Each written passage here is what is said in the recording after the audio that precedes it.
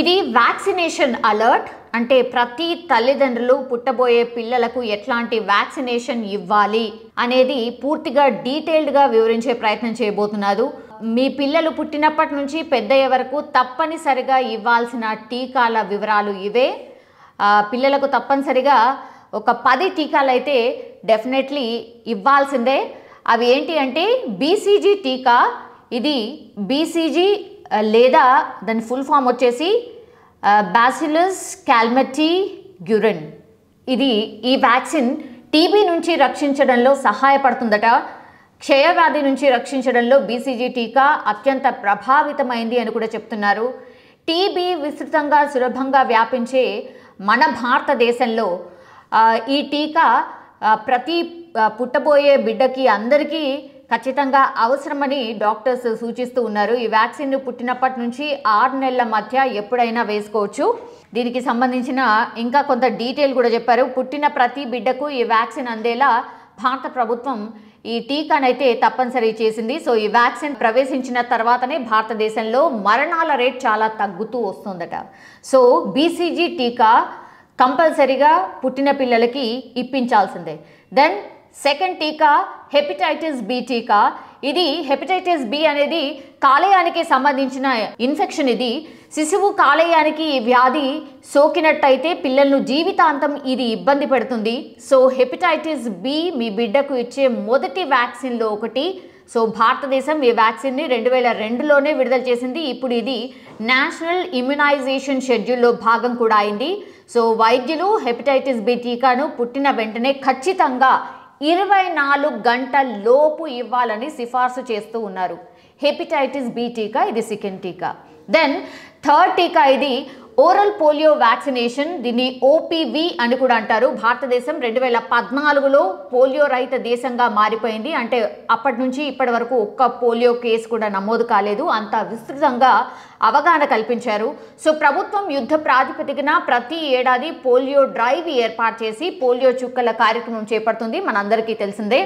So పిల్లలు పుట్టినప్పుడు లేదా పుట్టిన ఇరవై ఐదు రోజులలోపు వీలైనంత త్వరగా పోలియో చుక్కలు వేయించాలి. దీనికి అనేక మోతాదులు కూడా ఉన్నాయి. వాటికి అనుగుణంగా డెఫినెట్లీ పోలియో టీకాలు అయితే కంపల్సరీగా పుట్టిన బిడ్డకు వేయించాలి. ఇది third.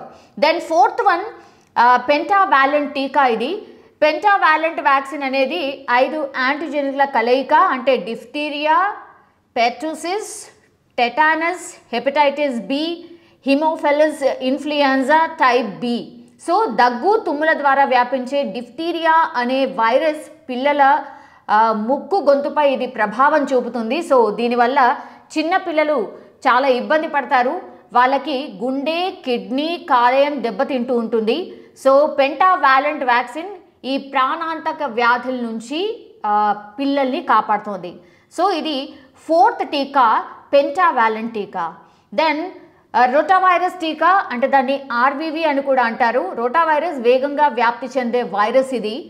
పార్క్ లేదా డెకార్ సెంటర్ వంటి చిన్న పిల్లలు ఆడుకునేటప్పుడు ఇది ఎక్కువగా సోకుతుందట. మనకందరికీ తెలుసు చిన్నపిల్లలు మారాం చేస్తూ ఎక్కడెక్కడనో ఆడేస్తూ ఉంటారు. కింద లేకపోతే ఇంకా అన్టచబుల్ థింగ్స్ ఏవైతే ఉంటాయో వాటన్నిటి టచ్ చేస్తూ ఉంటారు. దానివల్ల ఇది సోకుతుందట. అది that is called rota virus అది వ్యాప్తి చెందకుండా ఉండాలి అంటే ఈ టీకా మస్ట్ దీని దీనివల్ల ఏమవుతుంది అంటే తిమ్ముర్లు వాంతులు విరోచనాలు సంభవించవచ్చు. సో పెంటావాలెంట్ వ్యాక్సిన్ లాగా రోటా వైరస్ వ్యాక్సిన్ భారత ప్రభుత్వం పిల్లలకు అందిస్తోంది. యా నెక్స్ట్ టీకా ఇస్ సిక్స్త్ టీకా. న్యూమోకాకల్ కాన్జిగేట్ వ్యాక్సిన్ పీసీవి అని కూడా అంటారు. ప్రమాదకరమైన వ్యాధుల నుంచి ముఖ్యంగా నిమోనియా నుంచి రక్షిస్తుందట. రెండు వేల పదహారు రెండు వేల పదిహేడులో భారతదేశం ఉత్తరప్రదేశ్ రాజస్థాన్ హిమాచల్ ప్రదేశ్ మధ్యప్రదేశ్ బీహార్లో ఐదు రాష్ట్రాల్లో ఈ పీసీవి వ్యాక్సిన్ను పాయిలట్ రోల్ అవుట్ కింద ఇది ప్రయోగించారు. అంటే కొంత పరీక్ష చేశారు అని చెప్పొచ్చు. సో పీసీవీ టీకా మూడు మోతాదుల్లో ఇవ్వబడుతుంది. ఇది కూడా must then measles and rubella vaccine మనందరికీ తెలుసు. ఎంఆర్ వ్యాక్సిన్ ఇది భారతదేశంలో రెండు మోతాదుల్లో ఇస్తారు. మొదట ఎంఆర్ షార్ట్ నైన్ నుంచి పన్నెండు నెలకు ఇస్తూ ఉండగా రెండవది పిల్లలకు రెండు సంవత్సరాల వయసు వచ్చే ముందు ఇస్తూ ఉంటారు. ఇది కూడా మస్ట్ టీకా. దెన్ ఎనిమిదవది నిష్క్రియాత్మక పోలియో వ్యాక్సిన్ అంటే దీన్ని ఐపీవీ అని కూడా అంటారు. పోలియో వైరస్ను పూర్తిగా నిర్మూలించే మరో ప్రయత్నంలో భాగంగా భారతదేశంలో రెండు వేల పదిహేనులో ఐపీవీని ప్రవేశపెట్టింది. నోటి టీకాలా కాకుండా వైద్యులు శరీరంలోకి ఐపీవీ ఇంజెక్ట్ చేస్తారు.